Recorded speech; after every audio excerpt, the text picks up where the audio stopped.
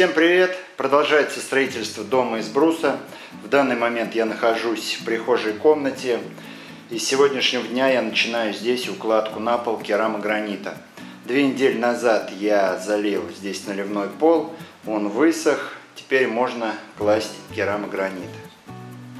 Начинаем с уборки помещения. Пылесосом строительным вычищаем весь мусор.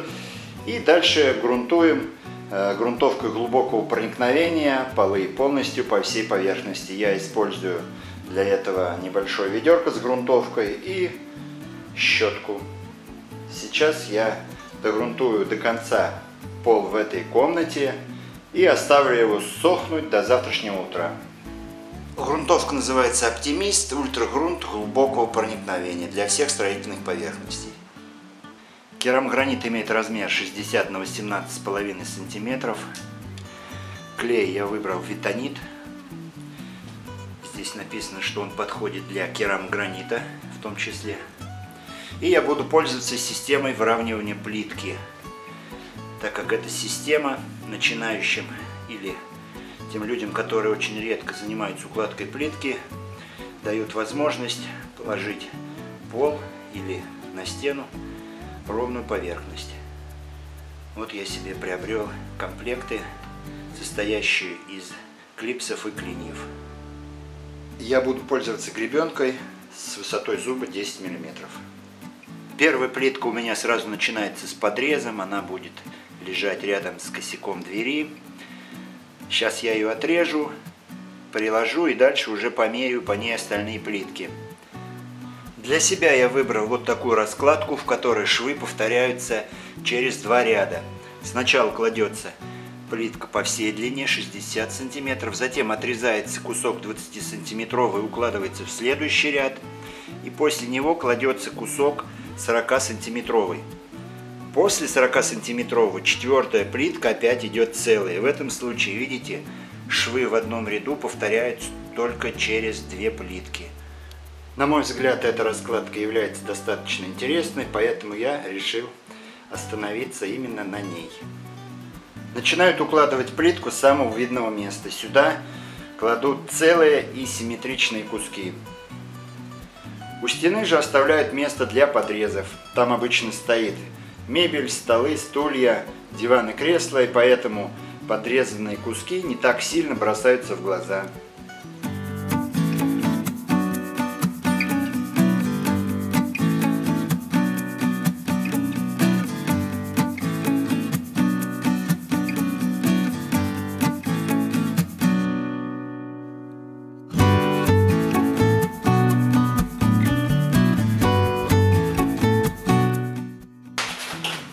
Берем клинья и затягиваем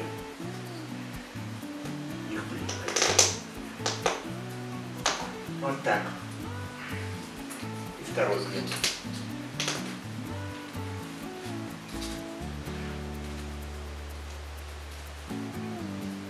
Вот так. Вот так не спеша я закончил два ряда. Каждую плитку я выравнивал системой при помощи клиньев и клипс. И перед тем, как замешивать еще одну порцию клея, нужно ставить клипсы, пока клей не засох.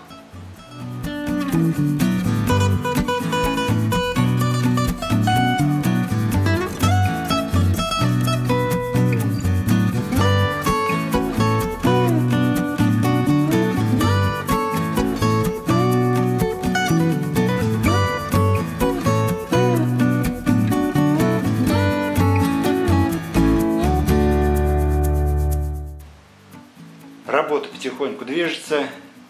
Сейчас уже наступил вечер, поэтому остальную часть я доложу завтра. Вот смотрите, под крайнюю плитку я везде вставил клипсы.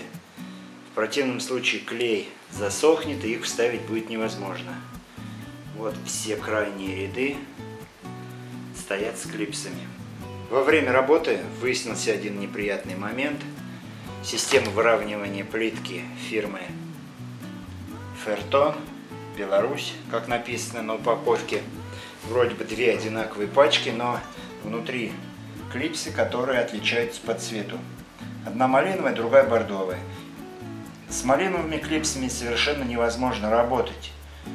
В то время, когда вставляешь клин, они просто рвутся. Каждая вторая клипса разрывается. А из пачки с бордовым цветом порвалась у меня из 100 штук только одна клипса. То есть это самый настоящий брак. Если кто будет брать в Леруа клипсы фирмы Фертон, не берите ярко-красные, а берите бордовые. Они по качеству намного лучше. Их видно, они вот отличаются. Клей за ночь высох и по плитке можно ходить. Но перед тем, как укладывать новую плитку, э, клипсы нужно демонтировать, чтобы можно было отличать новую уложенную плитку от старой. Делается это очень просто, нужно не сильным ударом киянки в торец клипсы выбить ее из швов между плитками. Вот так.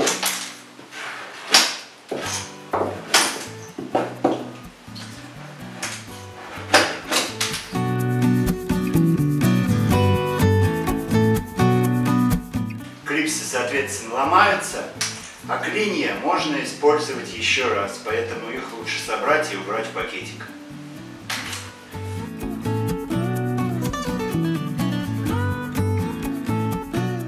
Убрал мусор, почистил швы, все стало выглядеть очень прилично. Чистый ровный пол. Теперь размешиваем клей заново и доклеиваем оставшуюся часть плитки.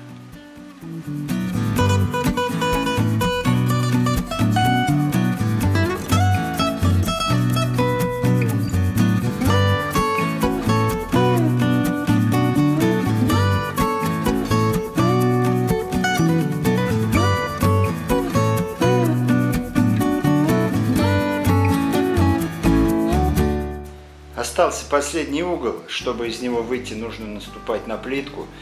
Поэтому нужно дождаться, пока крайние плитки высохнут, и затем доделать работу.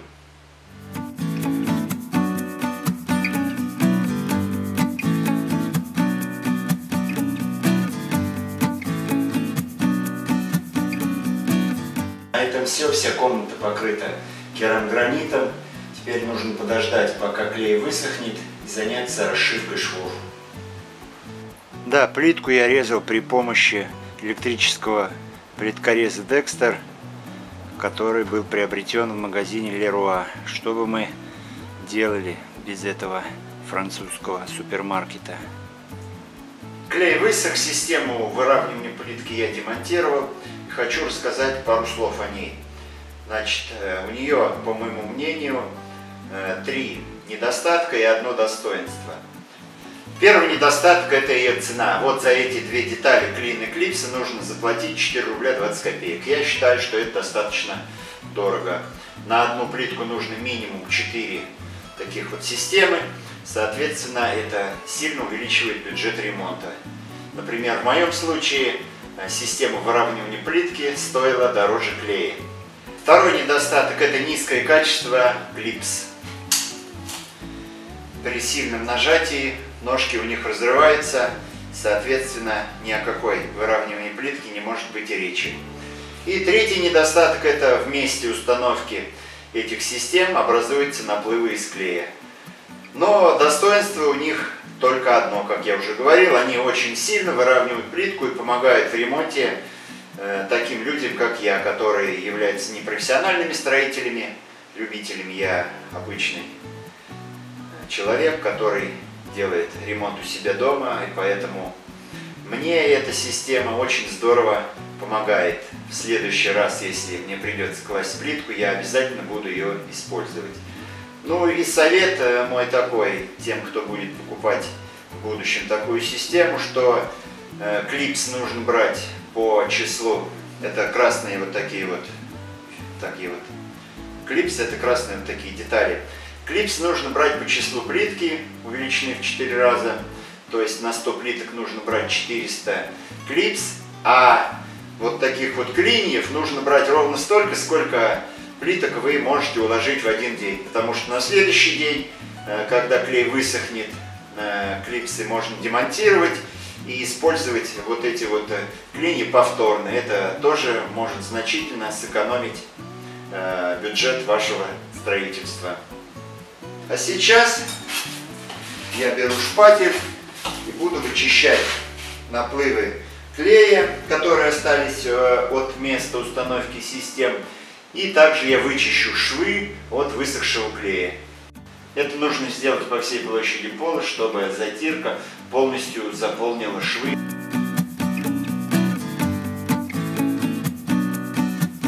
Итак, щели вычищены от засохшего клея, мусор убран строительным пылесосом. Теперь можно приготовить э, затирку и заполнить их. Для размешивания смеси я сделал вот такой импровизированный венчик. Это кусок арматуры с закрепленными на краях пластиковыми хомутами. Так, сейчас попробую размешать.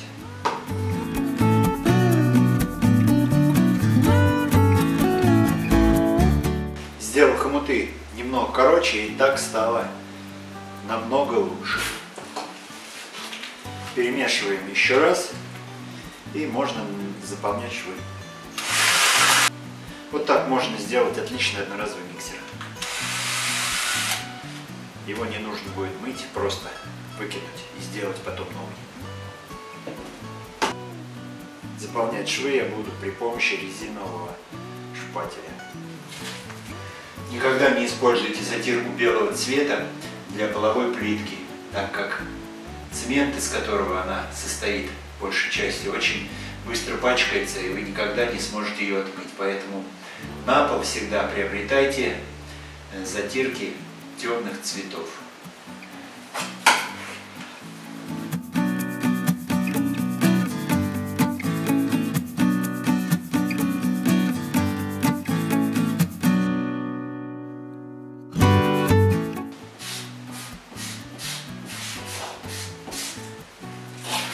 Во время заполнения швов нужно следить, чтобы смесь заполняла его полностью и не оставалось никаких ямок, углублений или впадин. По мнению людей, которые работают с плиткой очень долгое время, оптимальным метражом является 4 квадратных метра заполнение швов, то есть вы площадь 4 квадратных метра швы заполнили, затем берете губку и затираете. И этого времени как раз хватает для того, чтобы швы немного схватились и их было удобно вытирать. В противном случае цемент уже начинает застывать и вытереть его становится проблематично.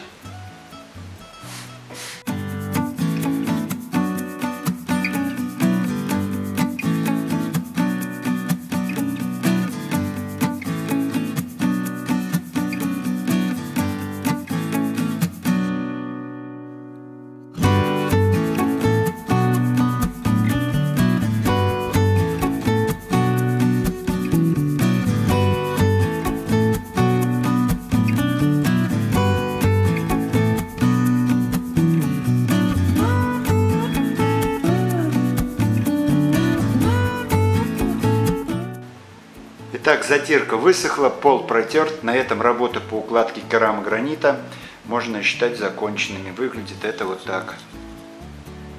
Довольно неплохо. Единственное, выяснилось, что плитка из разных пачек имеет разный оттенок. Одна сероватая, другая голубоватая. Хотя было куплено в одно время в одном магазине. Вот так это выглядит заметно, что плитки отличаются по цвету друг от друга. Прихожая в доме из бруса потихонечку приобретает законченный вид. Плитка на полу лежит, входная дверь установлена, стены проконопачены и покрашены, потолок установлен и покрашен. Осталось сделать отделку двери, этим я займусь в ближайшее время – и установить межкомнатную дверь и оформить перегородку. Если вам интересно, как будет это все смотреться в дальнейшем, как будет происходить, подписывайтесь на мой канал, пишите комментарии, смотрите новые видео. На этом все. До новых встреч!